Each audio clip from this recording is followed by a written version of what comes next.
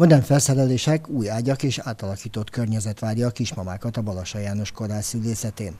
Miközben folyik az új szülészeti blokk tervezése, a jelenlegi kórházi környezet megújítására nyert támogatást az intézmény kormányzati forrásból biztosított 120 millió forintos pályázatnak most végre sikerült elérni a, a végére, és sikerült birtokba venni, illetve a betegeknek használatra átadni a kórház szülészeti épületének, a szülészetnőügyászati épületének a felújított szülészeti szintjét.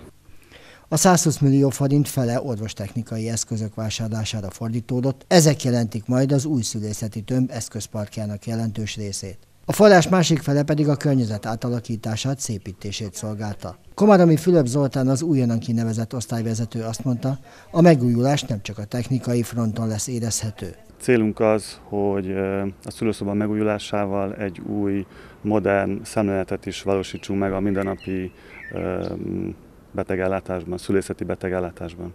Az átalakítás után mostantól minden szülőnök külön helységben hozhatja életre gyermekét, mely az egészségügyi dolgozók és a kismamák közös régi vágya volt, tette hozzá az újonnan kinevezett osztályvezető.